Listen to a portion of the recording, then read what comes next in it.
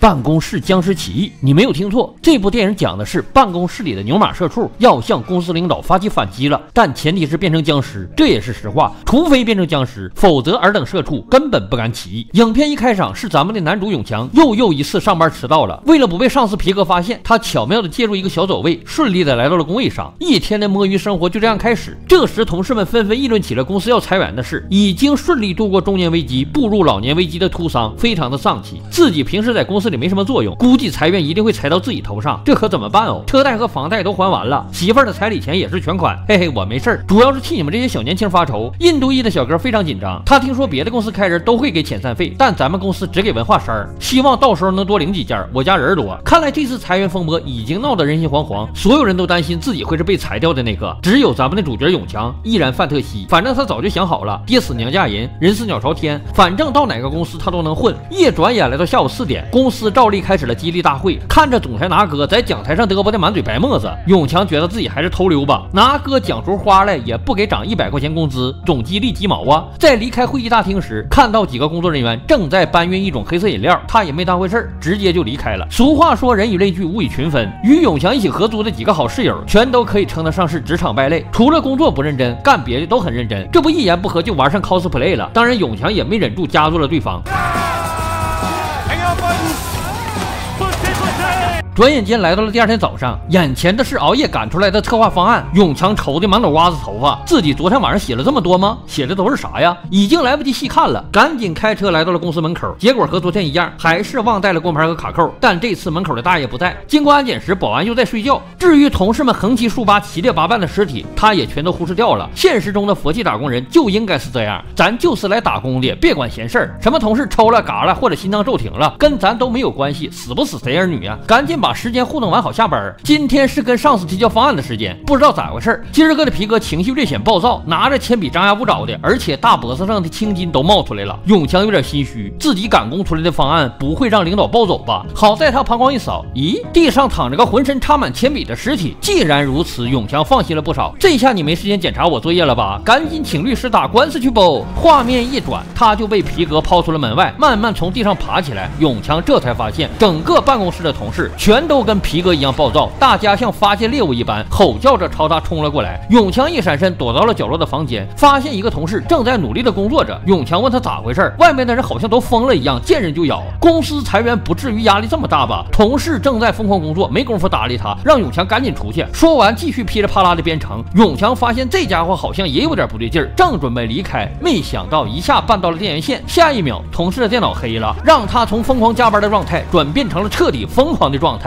两人扭打在一起，还好永强反应够快，一溜烟跑了。他意识到可能是昨天那种黑色饮料的问题，只有他先翘班了没喝。为了逃命，永强想到了一个好办法，其实就跟在职场混一样，假装自己非常忙碌呗，融入大家的气氛之中。这招果然奏效，他顺利的来到逃生通道，正准备离开，忽然想到了青梅竹马的朋友刘英，他还在楼上的市场部。好在刘英还算安全，正在那加班加点的工作，完全没意识到外面发生了什么。等等，这不和刚才的同事症状一样吗？仔细一瞧。果然发现刘英在喝一罐黑色饮料，他试图把饮料拿开，却直接将刘英给引爆了，翻身就骑到永强身上，准备把他揍一顿。好在刘英只喝了半罐，情绪很快稳定下来，但又不是太稳定，一旦受到刺激就会进入暴走魔化状态。为了避免刘英失控，永强干脆把他绑起来运走。他们本打算继续从逃生通道撤离，不料中途碰到了魔化皮革带领的大批小弟，没办法，他们急忙躲到了附近的储物间，在这里遇到了小印度。因为是斋月，所以小印度也没有喝饮料。这时外面。传来了叫阵的声音，透过门缝看去，原来是两大魔化部门相遇了：暴走财务部和狂邪市场部。魔化皮革带领着手下的财务部众魔，想要收服市场部的所有人，但身高两米、气场也有两米的范马杰克却有不同想法。你们财务部的人全都是一些打算盘、算数字的文弱书生，哪有我们开疆拓土的市场部的人有魄力？所以这个老大还得我杰克来当。魔化皮革自然不服，双手一招，丢出一颗大好头颅来。要说有魄力，谁人有我的魄力？在混乱之。之初，皮哥已经亲手揪掉了副总裁的脑袋，走上了财务部的头把交椅。然而范马杰克微微一笑，道理咱说不清，干脆比拼内力吧。只见杰克双手一握，将饮料罐给压成了饼，随后注满内力丢向皮哥。没想到皮哥也是练过，轻飘飘的一把接过，随后用暗劲将饮料罐捏成了手里剑，一把爆掉了范马杰克的头颅。完事后，皮哥大声质问：“谁敢不服？”没想到市场部中人群散开，又有两员悍将走了出来，他们是一对双胞胎，正是范马杰克的同门师弟天龙地雅王龙王虎兄弟二人的合击之术威力巨大，魔化皮革正要出手，没想到市场部的众兄弟苦范马杰克和天龙地雅久矣，总让他们加班。大家一合计，干脆来了个窝里哄，一起出手将兄弟二人给活活撕碎。刚才发生的一幕可把躲起来的永强三人吓疯了，赶紧逃出去再说。他们分别试了逃生通道，乘坐电梯逃跑，可全都宣告失败，无奈只能试着使用通风管道了，但还是不行。英子的轮椅太大了，塞不进进去，还是永强的脑瓜子活泛，那就砸窗逃生吧。尽管英子二人极力阻止，结果还是晚了一步，整栋大楼升起了防爆模式。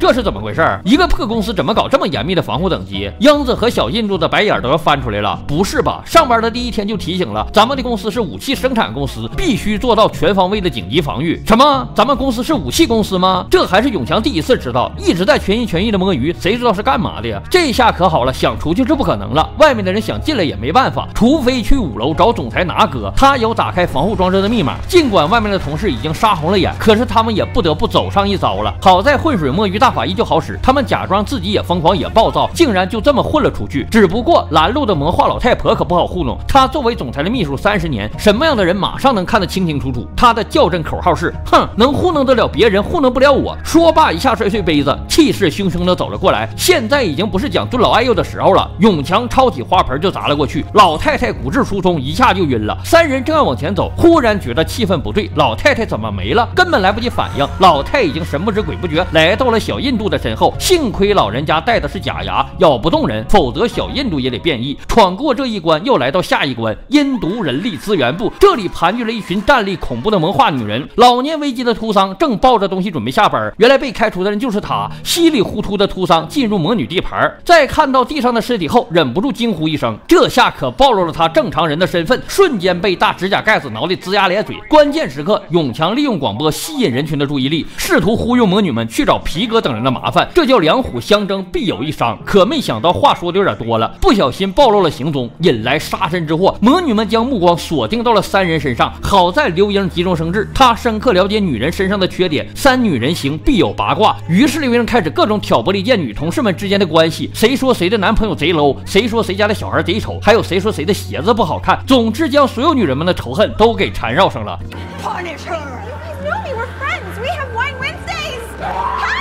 You're a genius. 这招就叫智取巍巍山。闯过了这一关，还有下一关。下一关就是关中之关，超级难关，人人闻风丧胆的客服部。大家应该都知道，客服部的人平时活得有多么压抑，面对客户的投诉低声下气。这回喝了神药之后，彻底放飞自我，他们恐怕比任何部门的人都要狂躁十倍往上。骷髅若岭，骸骨如林，人头发汇成粘片，人皮肉烂作泥尘，这都是用来形容如今的客服部的。换做之前，英子还能淡定，躺在轮椅上足以。搞定一切，但面对客服的群魔，他也忍不住要抄起家伙了。血战之前，大家先来到杂物间武装自己，各种防御装备、护甲、奶勒子佩戴齐全，大战一触即发。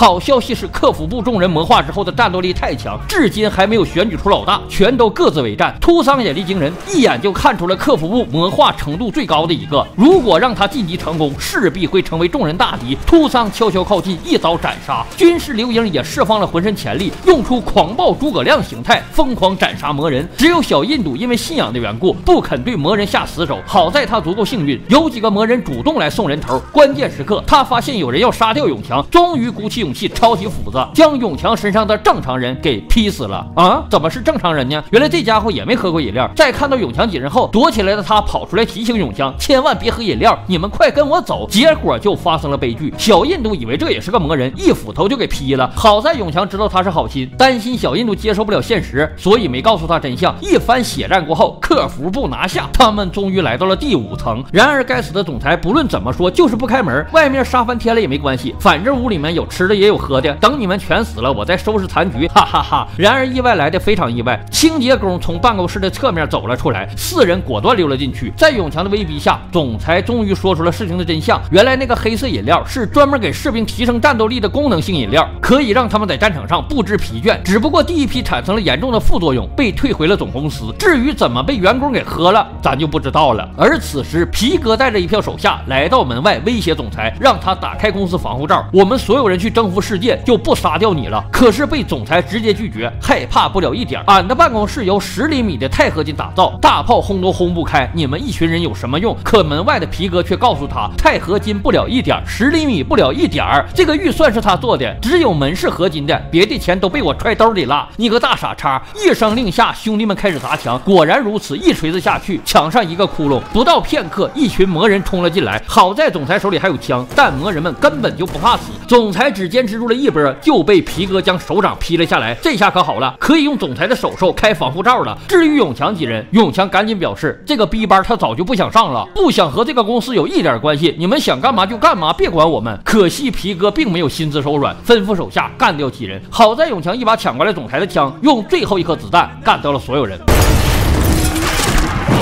刘英的身体坚持不住了，马上就要彻底魔化。永强背着他来到研发部的办公室，找到了博士阿华。他告诉永强，英子只喝了半瓶，还能趁热，不是还能救回来。而制造解药的原料就位于仓库的货架上。不过坏消息是，仓库已经被魔人们占领了。他们试图将魔化饮料发往世界各地。咱们书说简短，一场大战不可避免。为了拯救英子，永强也顾不得同事情谊了。正好他们所在的武器公司根本不缺少武器。看着蜂拥而来的魔人，永强丢出了两个地雷。喂，不应该是手雷吗？丢地雷有个毛用啊！魔人不是丧尸，不往地雷上踩。好在小印度掏出了喷火枪。